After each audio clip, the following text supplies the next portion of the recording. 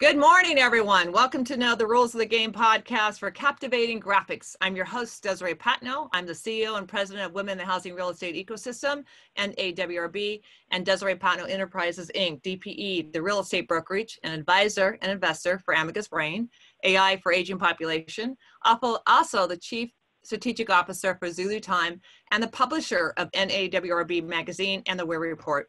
Today, we are very honored to have as our guest Kendall Roderick. Hey, honored to be a senior graphic designer. She graduated with a Bachelor of Art in Graphic Design and has been designing for over 10 years, of which seven years have been with NAWRB. Welcome, um, Kendall. Thank you for being on with us today. Thank you. I'm super excited. Yeah, yeah, I'm so excited too. And also, we have your fabulous husband. Um, as a bonus, we have Ronnie Roderick, he's a freelance industrial designer. He graduated with a Bachelor's of Science in Transportation Design at the Art Center College of Design in Pasadena, which I was president at, very cool, and has worked with cars for over the past 20 years. So thank you, Ronnie, for joining us today. Thank you for having me. Yeah, yeah, I'm so excited. It was really cool to be there for the whole day at your design stuff. It's just so exciting.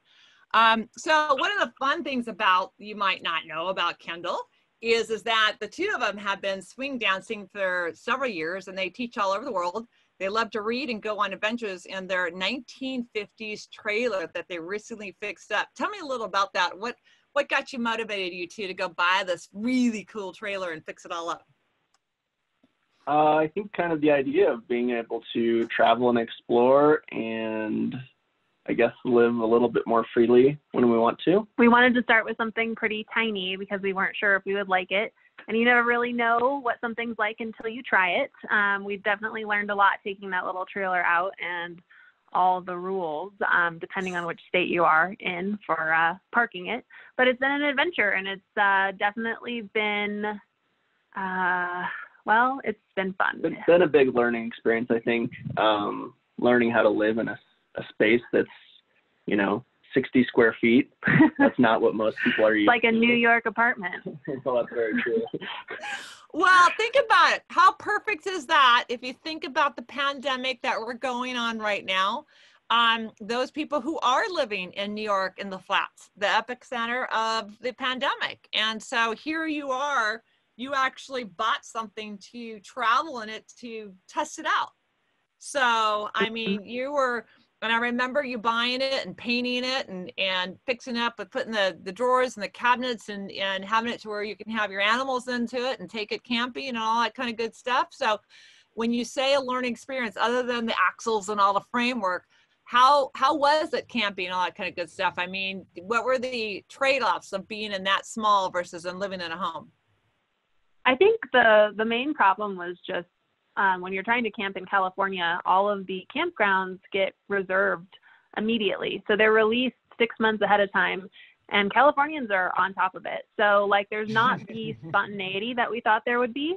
But right. as we've gone away from California, there's a lot more opportunity to do what is it, the dunking? What is boondocking. It? Boondocking. Boondocking, which is pretty much where you park on government land and it's free. So we've done that a couple of times, and that's been fun. Yeah, and I think the goal with our trailer too, a lot of people have trailers that you have to hook up to electricity oh, yes. and uh, sewer and stuff like that. But we wanted to have something that was totally off grid. Um, we could really park it anywhere and be able to use it. And I think that's that's been nice. Been really cool. Yeah. Yeah. Very cool. Well, so with that creativity goes into our whole focus today is going to be about the you know the design and the cap how do, how do you captivate an audience? Because if you think about it we have 99% of or close to 99% of the entire united states shelter in place. And how do you you know the average right now is everyone's looking at media and how to you know stream data whether it's um you know streaming information and looking at youtube or you know looking at they're looking at information but it's the lowest amount of ads that we've had out there right now so if you're in the business, you know, dealing with, we had the big thing about the SBA and the, and the PPP and the EIDL loan that just happened last podcast. What are we looking at today as far as how do we captivate um, the design? You know, you've been with me for seven years and you've taught me so much, Kendall. I've been so honored. The, I have a, a, vision and you just take it and go with it. And you have all these great visions. And I go, oh my gosh, this is fantastic. So, what is it really? We want to break it down today for the three rules that are so important. You've always talked to me about Desiree. What is your I go to? The very thing, first thing we look at. So, the first rule you have is balance. Describe to me what that means and how that relates to both of you and what that could do to help our, our listeners today. Sure thing. Thanks, Desiree. Um, I think right now during the pandemic, a lot of people are experimenting with design. They're pulling out those iPads, they're using their Apple Pens. They're really playing with what they can do on their own because they have a lot more time on their hands. And our first rule is balance, and balance has to do with a few different elements of design. It has to do with the actual designing, and then it can also have to do with working with a client. So if you're working with a graphic designer or I'm working with a client, the balance you have between their ideas and what you can kind of give them to finish that idea. But we're mostly going to dive into the balance of an actual design. Right, visual balance. So, I mean, with any design, you have, you know, multiple elements to it. And it's really important that you balance those in a way that's cohesive and they work together um, to create something that's visually appealing and so you can get your point across because I think a lot of visual design is, you know, you're trying to make a point, you're trying to share a message, and you want to do that in the most effective way possible. You'll see a lot of times with clients, they want what they see in their head, they want all of it. And unfortunately, having all of it, having that chaos of everything you want to push in there, doesn't necessarily um, let the viewer interpret interpret your vision properly. So it's also taking a step back and balancing your own thoughts and your own mind of what you actually want to pull forward into your design because it can get very overwhelming, especially all of you people out there who are trying to start design for the first time. Like create a list. What is your objective for this design? And figure out how you can actually present it without overwhelming your viewer. So thank you for that, both of you. So if you if I were to look at this as a balance, so you're actually talking like a chef has to sit there and have the different textures of the food and the different balance of of um, not overpowering flavor. So you're talking about the balance of who you're talking to, what that looks like, and so you're not oversaturating because there's too much because too much of a good thing can can really over uh, you know it becomes too much and you just look away from the design, right? Well, it's so interesting you mentioned that too, because if I was thinking about food in design sense, I would think about the plate and the presentation of the plate and how you have kind of like the meats and the potatoes and the vegetables and how those things balance each other, but also kind of they're very different from one another. So they take different elements and visually you can see it on like a really well presented chef's plate. That's another type of design. Like they're designing the way they're putting that food on your plate in order to have the most appealing and wonderful experience. So excellent. So if you were to look at that for one of the things that I absolutely loved, um, uh, Ronnie, is that when I went saw your three models that you made when you graduated from the um, design school, um, you had a van that was self-contained and it was really about, you were thinking about the future um, and the balance on how you would have, you know, make sure there's enough room for this, enough room for that. That same design balance also comes in the functionality, right? Of the um, balance of not only what you're trying to interpret of, of looking at a, you know, a flat two-dimensional versus three-dimensional object. So define how that balance works in that capacity.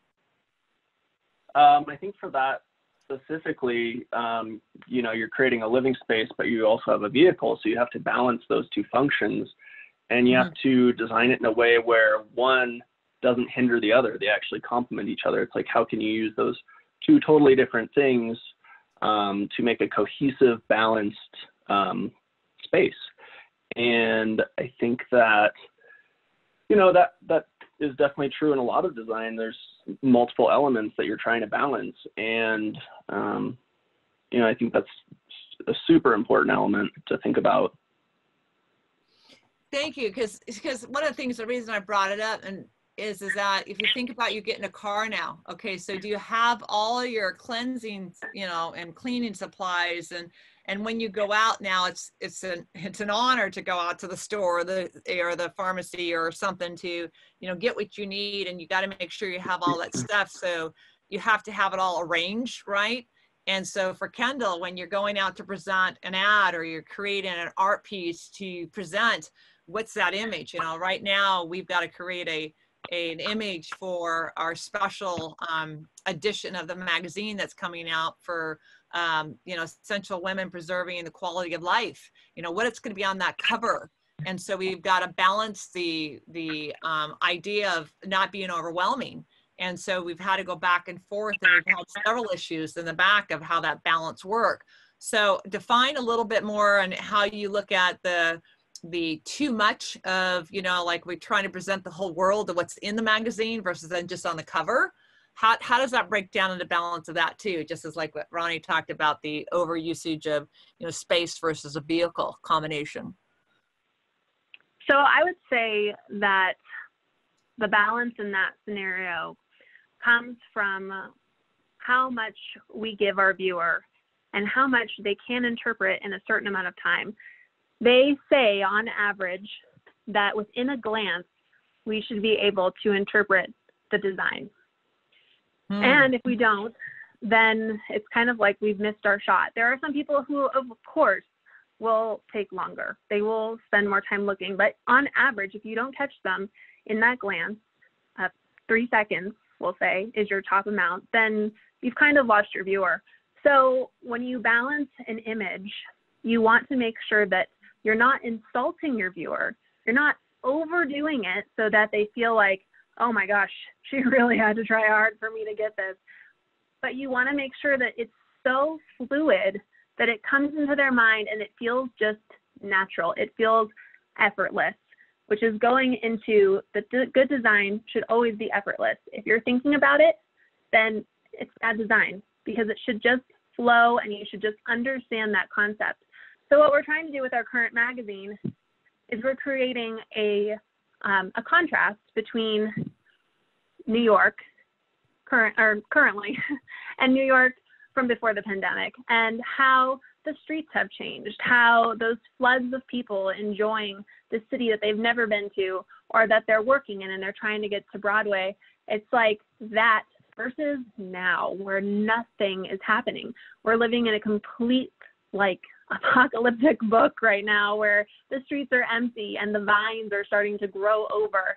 So we want to be able to show that without distracting the viewer, but also getting our message across as clearly and as efficiently as possible.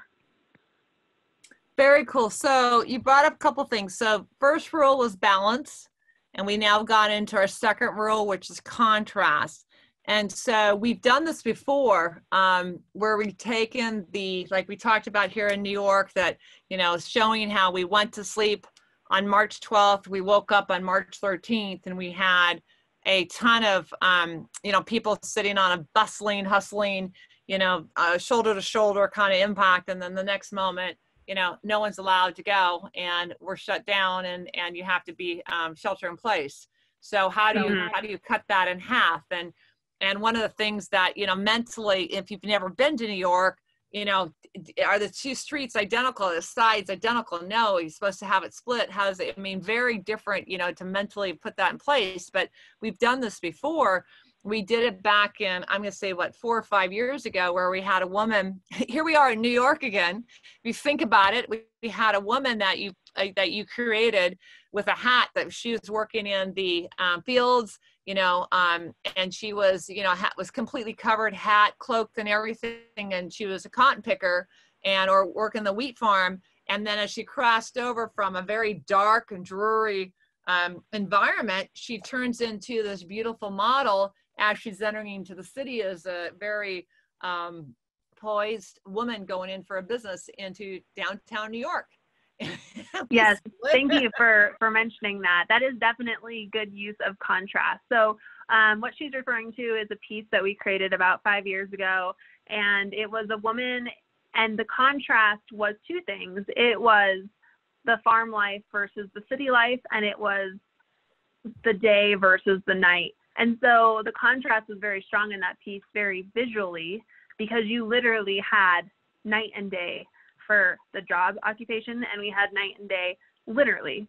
So that's like a great use of contrast. Contrast is um, a great design element because it's very eye-catching. It's very usually immediate, and it normally stops your viewer and makes them do a second uh, take. Yeah, and I would say, um, you know, contrast even goes beyond kind of the more obvious idea that you guys are talking about. Um, if you think about kind of the contrast of, you know, uh, font on paper that we're reading, it's black and white. Very true. And you know that's that's about as much contrast as you can get. Um, but it makes it readable. It makes it something that we can visually take in and immediately understand. And I think for design, that's something that's very important. It's like the viewer has to be able to immediately look at something and get the idea. And I think contrast is a big element in that. And contrast can also be um, like you see a lot of ads where there's like a donut, for instance, on a very plain background. That contrast is from like the texture and the color of an object versus something very plain on the background. It's popping. There's there's this very strong element of visualing visualization. Um, it's kind of like when someone is like hunting and they're in camouflage. You do not want that with design. You do not want things to all be the same value. You do not want things to blend in with one another. You want things to pop and you want that visualization to happen as fast as possible and for recognition to happen very quickly. Excellent. So the other thing for contrast I like to add for all our older um, aging population, that contrast is very important so we can read.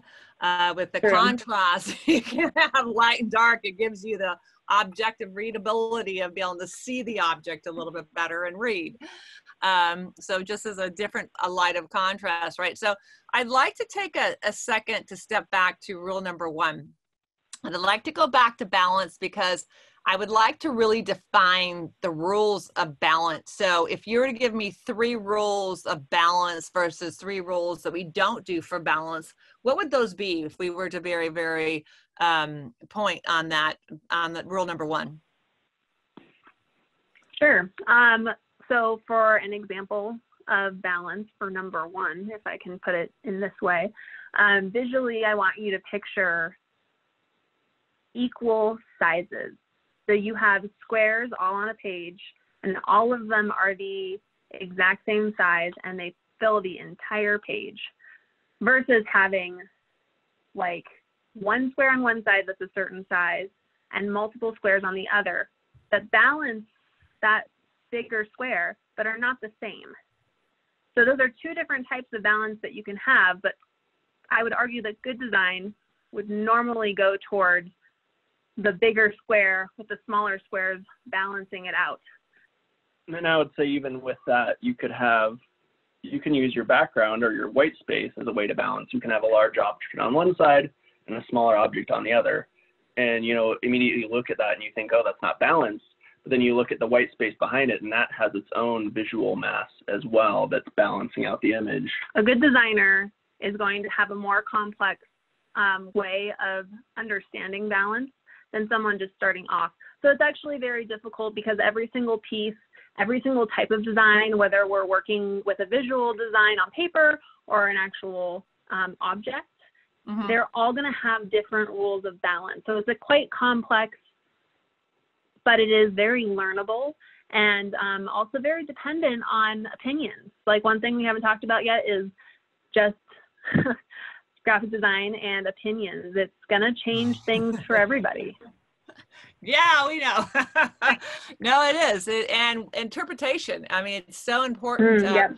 uh, what I vision or you vision or anyone envision because what you have, and that's why I believe the true artist will go into an art gallery, right, or a museum, and you'll see someone walk by a picture and they'll get it. Yeah, okay, that's beautiful, and keep on going, and then someone will stop and they'll stare at this painting for hours because they're so intrigued and trying to get in the mind of the artist of what they were thinking, where they were going, and how they evolved, right, and where this picture took them. Um, and that's where it's a whole different uh, venue for you know captivating the art because the fact is, is or the design because the the medium is is a long term of an artist who appreciates it hence they spend you know hundreds of thousands if not millions of dollars for a piece of you know um, uh, canvas or or three-dimensional art um, and go with it. So if we go back to balance um, on you know a cover or something we talked about it was very interesting how you talked um, I remember when you told me a couple years ago to where some of the art pieces that you create have, have you know 125 pieces of layered art. How do you keep the balance of so much art and so many layers um, on a piece without making it so overwhelming like that? Oh, you mean you mean keeping my sanity is what you mean. that too. um, so I will say that I know it seems like a lot of layers, and I have worked. Um, one of my specialties before I came into NAWRB um, was photo manipulation, and photo manipulation is a very fun way of taking multiple pieces of art or photos, I guess, and creating one art piece. So, like Desiree, I could I could make you into a fairy flying over New York City, and like I would spend a, like 10 hours creating this one image and I would probably put like 300 layers in because I would be the thing is is like there'd be 50 layers in your wings and there would be um, like multiple layers in the city because I'd be changing elements of the city to make it cleaner and more capable of kind of having you in it. And so even though it seems like it would be overwhelming to have that having that many layers, it really comes down to groups. You group these layers and you you label them. So uh-huh. Desiree the fairy, and then you uh, you're able to kind of put them into a package that's a lot more digestible, and you can work on them in sections. So it's not that there's like 300 images on top of each other. It's like little tiny things that are all separate. And some designers work differently. Sometimes they draw over everything. So they just do one canvas and they draw on top of everything and they paste on top of everything and they flatten on top of everything which is something Ronnie does that yeah. drives me absolutely nuts. I, I would say that I, I do design more like that where but I mean I think back to the original question to keep the balance from the start you really have to have an idea kind of a concept of what you're trying to achieve if you just try to throw 300 different images into one canvas and piece them all together it's going to be you know more of a collage than the, a composition that has a focal point and an objective. So as a designer, you really have to think about that from the very beginning, whether that's with a sketch or just an idea that's in your head and you kind of already have a vision for where you're going with that. Very cool. Well, I know that that's what the whole idea is, Kendall, when you made the woman walking up the side of the building and you had it had her breaking the glass ceiling. You literally had shards of glass falling out of the sky as she's as she's running um, up with her briefcase up the side of the glass building, and so that had tremendous amount of layers of art. I remember that. And so mm-hmm. it turned out absolutely beautiful. Um, as another color. So that's a great aspect and, and I agree. So if we move back now to, so thank you for that, Ronnie, too. I, I think the fact that you have different techniques and you both are exceptional at what you do, um, it just shows that whatever you're comfortable with and whatever works at the end game has to be that you look at it and it just captivates you, right? Um, and that captivation can be interpreted different ways. Um, and that's what is so different, and what's so intriguing um, about this. So we're trying to give you, everyone, our, our podcast listeners, the, the value add of, of some rules that you don't really get to see that are applicable to what's going on, especially when you're doing design as simple as creating a food dish, as simple as creating something arts and crafts for the children, giving them some techniques as they're young. So if we go back to contrast in, you know, we can have contrast of texture, we can have contrast of color, we can have contrast of, of size. How do you keep it from becoming too obnoxious? And I hate to use that word, but I'm going to in the sense that it becomes too overpowering um, because some of us, like myself, can be a little bit overpowering. Um, how do you keep that balance and contrast to be, you know, contained? Um, I would say that um, as a graphic designer, if you are a graphic designer and you aren't trying to do this on your own, I mean, either way, um, that all depends on your client. So a graphic designer has the ability to point a client in the right direction, but at the end of the day, the client is always right. And um, one thing that they always suggested in school, or one thing they told you not to do, was never give your client your idea and say it's better. Um, they always say that you do exactly what the client wants, and then you take your own time and you create what you think they might like instead, and you try to ease them into something that has the right balance, the right contrast, the right hierarchy, and you just try your best to direct them towards that. Like it's it's a tough because it's a relationship with your client. It's very rare that a graphic designer has the ability to do whatever they want unless they're doing it for them and can follow the rules the way they want to. Mm, got and it. I, so, I think I was gonna say I think uh, you know with anything you know too much of something can often be overwhelming. So I think as a designer, you just really have to know you know how to use contrast, when and where to use contrast uh, to make it effective and not overwhelming. Because you, with anything, you can you can make something confusing and overwhelming by just doing too much. Which I think leads us into our next um, our next uh, rule. Rule. That's true. Yeah, want to want to go into that, Ronnie? Sure. The next rule is hierarchy, um, and I think from the beginning of a part project, you have to really decide, you know, what is the most important thing you're trying to convey, and then from there, you know, what level of importance does everything else carry? Um, because when you're trying to convey an idea or a message, you really need to convey that in the most effective way possible. And what he had just mentioned before with um, why I thought it kind of ventured into this next role is you can take all the different elements that your client wants on a piece of paper and they all are sitting there and they're just kind of in your face and you can what you can do to lessen that and create hierarchy is you can lower the opacity. You can change the color. You can desaturate it. You can make it smaller. So ideally what you want to do with visual design is you want to know where the viewer's eye should go first. So if i was creating an ad and i was really trying to hit home on women in poverty, I would probably want their eyes to go to the crying woman first. I'd want them to actually feel her tears before I wanted them to see her scenario. So it's about visually making her stand out more than anything else on that page so that their eyes go there first. Your job as a designer is to kind of be like a puppeteer or someone who's going to direct you to exactly what you want them to see and then the next thing and then the next thing. And so one of the things i always want to play with is a lot of opacities and light and dark because your eyes usually go to the most contrast on the page. Um, your eyes also usually go to the largest thing on the page. Right. and that's another reason why balance you want to maybe have something big with a lot of little things that balance it out. And also with the contrast why you want to have something like darker with a lighter background so that your eye has that ability to go to that first place first. And those all kind of lead into creating hierarchy and creating a visual kind of story on a page.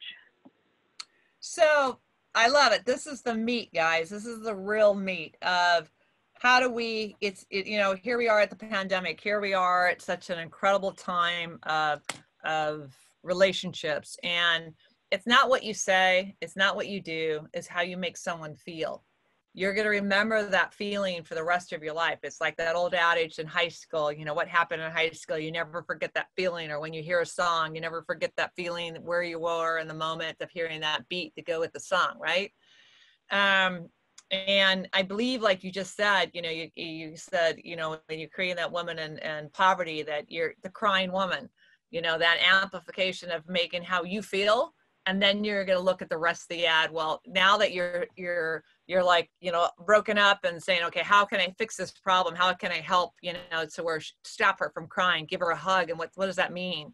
To do that so one of the things that i find in in in real estate or dealing any kind of ad you know we're dealing with now you know millions and millions of people losing their job. You're dealing with the housing market. You're dealing with you know the capacity of everything that's being done. And and uh, how you live where you work and it's all has to deal with the the entire ecosystem so how do you how do you tell our listeners that how do they stand out um, to to make someone or get them to feel uh, uh, something in the ad they're creating because a lot of them are going to be their own client. That's not going to be that they're designing for someone else. They're going to be designing for themselves to amplify to get someone else to see it to, to try to get their message.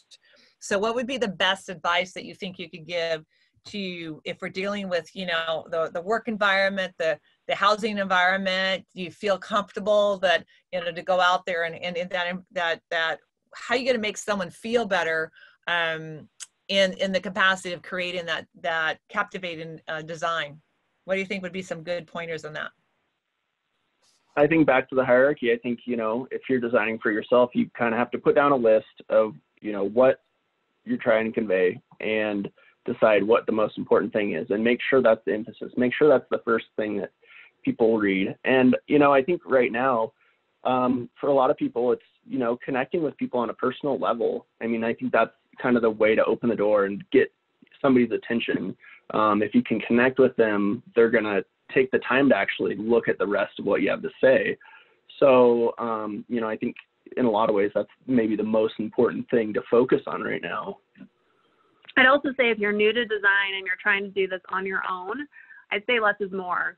If you're trying to convey a particular thing, maybe you should only have that thing on the page because go ahead. Um, well, I was going to say too, um, a little bit off topic, but you know, if you if you are new to design, if you're trying to design stuff for yourself, um, you know, I would find somebody that you trust and have them look at it, and don't you know, don't give them any leading you know information going into it. Just kind of commentary? Right. You want you want them to look at it and kind of come to their own conclusion. And if it's not what you're trying to get across maybe you need to kind of revisit you know, the hierarchy of what you're presenting or the contrast or the balance or any of those elements. I would say even farther of that, have you ever brought anything to your mom? And she's like, yeah, it's great. But if you bring something to your mom and you're like, oh, so and so created this, and she's like, mm, I don't know if I really like it, I would say that you can't necessarily get anyone's true opinion on anything. And if you really want someone's opinion, don't tell them it's yours. Show it to them and see what they say. And most of the time, if they're going to say something bad, they're probably going to be like, well, did you create this? And you'd be like, no. And then they'd be like, okay, I don't like it. I mean, honestly, spend a little time to get true feelings because you're going to put this out in the world and it's going to probably affect whether or not you make money or not. So why not actually get a real opinion? It might hurt. I will say that to get a tough skin for any creative field, writing or designing, modeling modeling, like you have to learn to handle rejection. And it is hard and you're going to get angry. And eventually, after like a thousand of them, which does happen eventually, you stop putting your heart on that page when you hand it over. Like you can put your heart into the design when you're creating it, but then you take that away and you see it as just something that was created and you can create more and you just let it be. Like you cannot hold on to those things. Yeah, I think that's a super good point because uh, you know, as a as somebody who hasn't designed a lot before, you're going to get attached to that design, oh, putting so all your attached. effort and passion into it, and you're going to think it's the best thing in the world. And I think you know that's one of those things you really have to step back and try to be super objective about it. And not only that, but as a new designer, you're going to take a long time to make something something that is going to take me 15 minutes is probably going to take you two hours because I've been working on these programs for 60 hours a week. Rub it in, Kendall. Rub it in. I know them like the back of my hand. And people are like, well, I can save money not hiring a graphic designer. It's like, well, you can go spend the rest of your life on the computer trying to figure out these programs, getting attached to your work and not doing, you know, nearly as good of a job yet because you don't have the experience. Or you can just pay somebody and, you know, kind of become a partnership that works off one another. And I think people underestimate uh, working with a good designer because you know they see the money signs and they think they can do it themselves. And um, unfortunately, a, a lot of people don't take the time to research. They don't take the time to listen to these podcasts. They don't watch YouTube videos. They just dive in thinking they can do it. And I think there's a quote that I, you know, saw that it was, if you think good design is expensive, you should see how much bad design is going to cost you because you know you might be saving money up front but in the end you're probably not going to Sell that product. capture the audience that you want and really get the impact that you could. Um, So I think that's an important perfect. takeaway. Good quote. Yeah, but it's a perfect quote, Ronnie. And, and Kendall, I love the the honesty of, of the two of you because the fact is is that yeah, when you're good at what you do, you can do it in 10, 15 minutes. I always say that. I said, you got 20 minutes to play. And I'm like, oh my gosh, are you crazy? And it's fantastic. And then other people can spend five, oh, I spent all day and oh my God, you don't like my work. I spent all, you have no idea how much time I spent on to create this piece. And it's just like not happening. So I love the Mhm. point, and, and I love the point that you know, if you pay little or do it yourself, and at the end you lost capturing that market because you make money in commodities and sell and buy and get it done. And that's one of the hardest things that are going on right now is, is that when you're, when you're contained, how do you stand out? And that's why this podcast of being um, uh, captivating design is so, so important. Um, because what we're trying to do here is how to, how to, how to stand out. And I think you, um, and that captivating graphics of, of the image and what we're trying to lay. So if you're not a designer and you have access to pre-canned software or you you're paying to buy a downloadable image because someone else took a picture and put it on Shutterstock or Adobe or whatever the pre-canned systems are you can have is one of the things that are incredible that people don't realize is that you still can take all that art and merge it. Well, that's where your incredible designers like Kendall and, and Ronnie come into the play but as a as a background, I think that Ronnie, you hit it out of the park in your comments saying it has to connect on an emotional level. And Kendall, you said, okay, have one object on that emotional level that they connect with. So, and less is more. And a combination of that, I think, is is that uh, several of the women that I know and men that will have something unique about them whether in your case you design you're a dancer so you're a swing dancer you love love love swing dancing and someone else might be a cook but also let's say work in the real estate or finance industry. Or someone might be um, let's say that's into you know having pets. So you'll see a lot of ads now that have a pet in the ad. Like you see the the automobile industry. Here's a great one for you ronnie that I've never seen so many ads of having dogs included in the commercials now ever on TV, um, where you'll have seven dogs on a boat going by, like laps to luxury. Wouldn't you have it? These dogs are living better than you sitting on the on the curb, um, or you'll have you know these five white, beautiful, long-haired dogs driving a car, you know, doing donuts in the middle of the street. Um, and so that captivating of of using you know an animal that you love and that's your that's your way of connecting on an emotional level i think really amplifies both of your messages there Yeah, I think you're right. I think it's also important to uh, I think it's important to look at examples of good design too, and this can even be in videos. Like if you think about the Super Bowl commercials, and you try to pull out why you couldn't stop watching that commercial or Mm, why yes. you wanted to see it. Like this can this can go into any design, video, and how they're captivating the the audience. It still works. It's like you're talking about dogs. People's ambitions are lowered by dogs. People have really good childhood memories usually connected to dogs. Some people have really bad ones. But I mean, you have to like find something that connects with your audience and emotional responses are the strongest. They say that videos that go viral are usually going viral because you share that link because you want someone to feel what you just felt. So you cried, you laughed, it actually evoked a physical emotion and you want someone else to feel that. So you send it to someone you care about. And that's how these things go viral because you can't help but hit that share button. Same thing should be for an ad. It is harder to do because it's stagnant. It's within seconds. It's not a moving thing that can catch your attention, but it does the exact same thing. So be a very aware of your surroundings. Be aware of what attracts your eye and how it captivates you and try to figure out how to use that in your own designs. i think that is perfectly said kendall because i want to i want to add the tip of the day. You want someone else to feel what you felt. You truly are whatever excites you about what you saw you immediately want to share it so there's your your play it forward feeling right Um, mm-hmm. and that ad, so the idea is, is that whether it's a food recipe, whether it's a donut, you know, oh my gosh, I wish I, you know, you're out in a hot desert, I could just grab that glass of water or having a great, you know, um, drink or whatever. Um, or I wish I was, you know, stuck in this house and I could be out on the beach somewhere.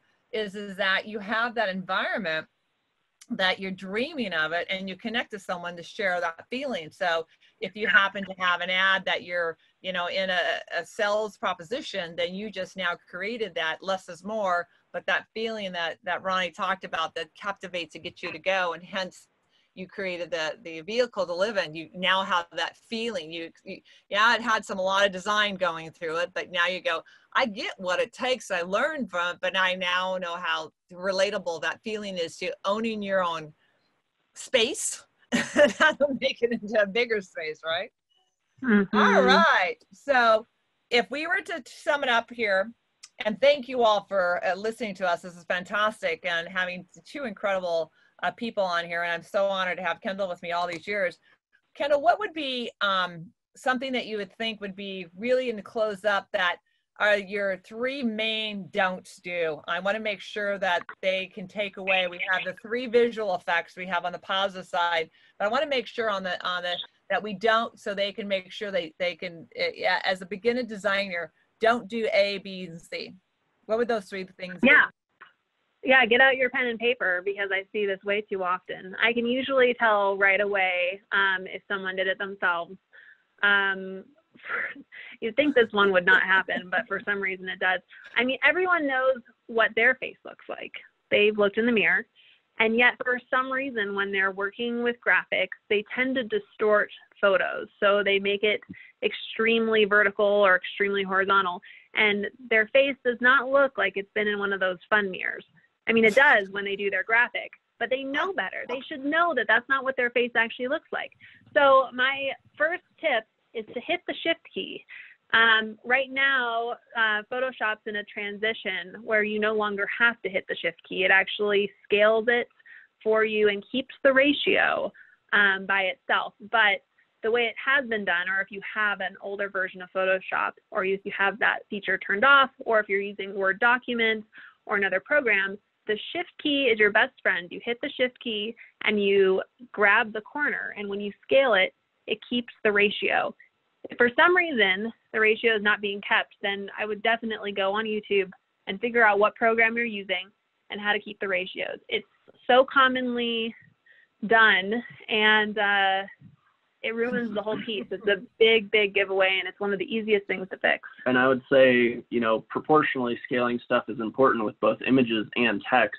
True. Um, fonts are generally designed to have a certain proportion and look to them. If you start stretching it and smushing it, it's gonna, it's not gonna look right. If you're trying to fill the space with a font, you might need to find a different font that actually works for what you're trying to do. Um, same thing with an image, you know you might have to find another image that is working better with kind of the, the size that you're you're working with with your graphic. I would say for number two, um, keep an open mind. So good design, especially something like photo manipulation, is accomplished by finding the right photos that are harmonious. So I'm not like no, I have to have the cookie. It has to go in a purple jar and I want it on the top of a skyscraper. I have to have that. Well, by trying to accomplish that exactly the way I was picturing it, I'm going to have a very bad looking design because I was forcing the perspective. I was forcing the colors. When I'm doing a design, I'm looking to create something that has the same perspective. I'm looking for the same tones and lighting. If I'm looking for a building, that building has to have similar lighting to the person I'm putting in that photo.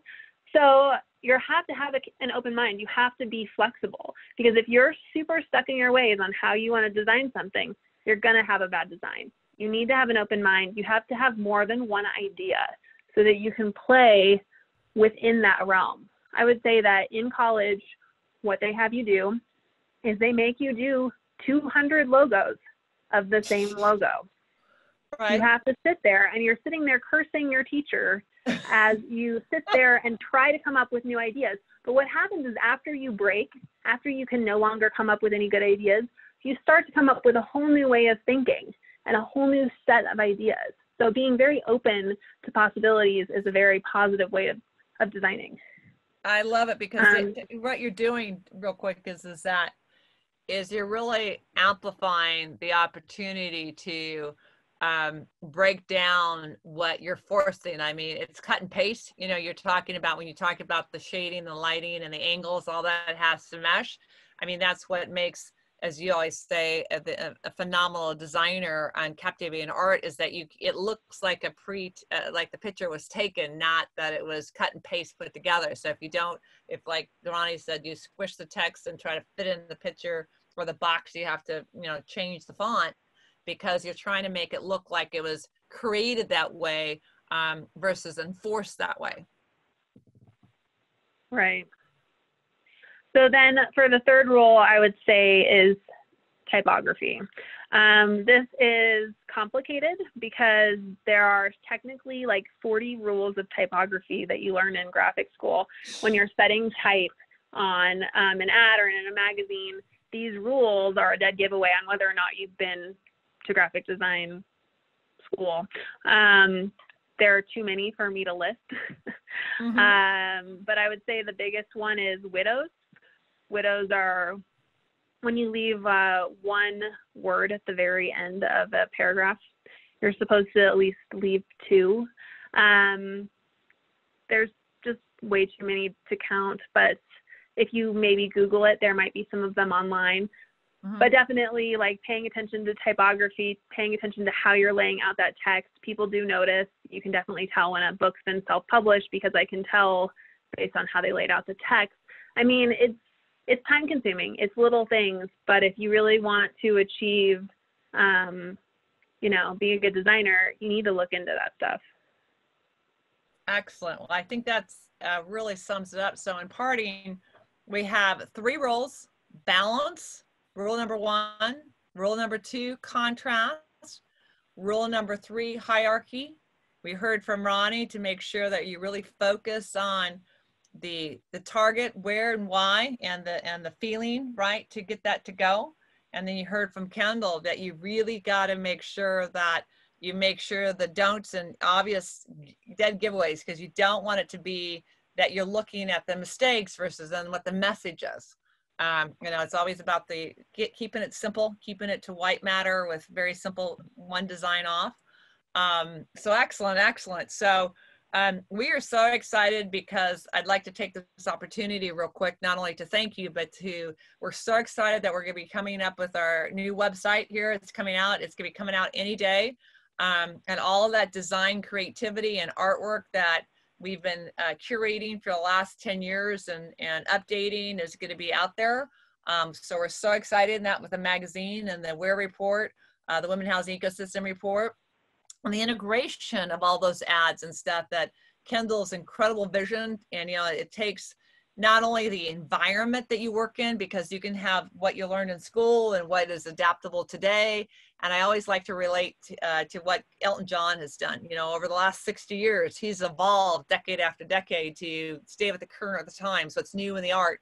And and captivating art has to be evolving. It can't be just you know well we did it back this way it's now this way um, you know, it's a, it's a new and evolving thing. So um, how would we, um, Kendall, in closing, um, what would be one of your um, pride things that you've done personally that has been captivating of, of a designer that you'd like to say?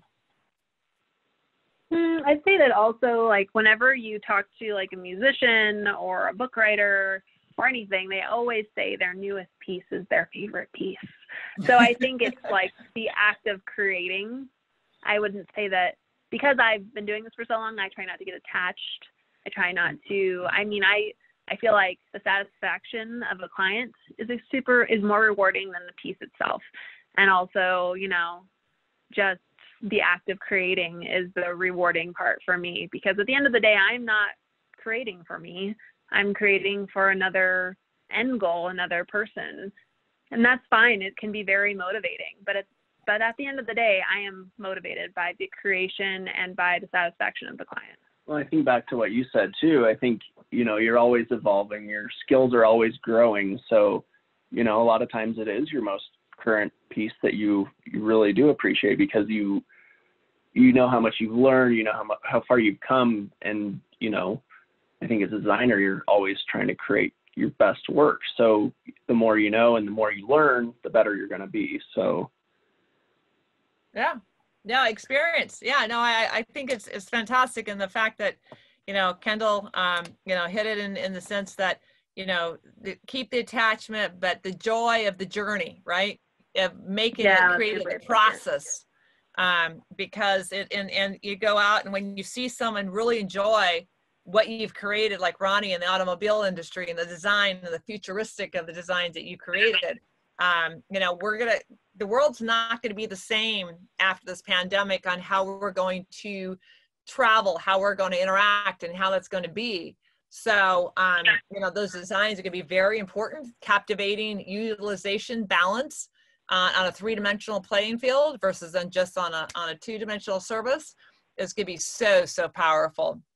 So, thank you both for an incredible time. I thought this was absolutely fabulous to see both sides of the fence and i think as as our listeners i'm sure will love um, what we had to say because this is something that everyone needs to experience because in clothing and cooking and design of utilization of time management it all plays into this because what what do you do well and what does someone else do well and how you can interact in the relationship because we are spending a lot more time um, with our significant others because home and shelter, right? So thank you all for listening to Know the Rules of the Podcast for captivating graphics um, and capti- uh, captivating design because we really want to bring that to, to home. I wanted to thank our guests, um, uh, uh, Kendall and uh, Ronnie Kendrick. It would be nice, uh, Roderick, if I could pronounce her name, it'd be great after seven years for those who know me, right? Um, and then the other piece is that how do you get a hold of us? So I want to make sure that everyone follows us on iTunes, on nawrb.com, also on nawrb.com forward slash podcast. Um, and all the information we have out there. There's our 8 o'clock a.m. every Wednesday morning, every Wednesday. We're going to have a new and exciting podcast. So thank you all, and thank you. Have a great day and be safe and healthy to everyone. And thank you again, uh, Ron, uh, Ronnie and Kendall. So have a wonderful day, and we'll talk to you soon. All right, thanks Desiree. Thanks. Thank you.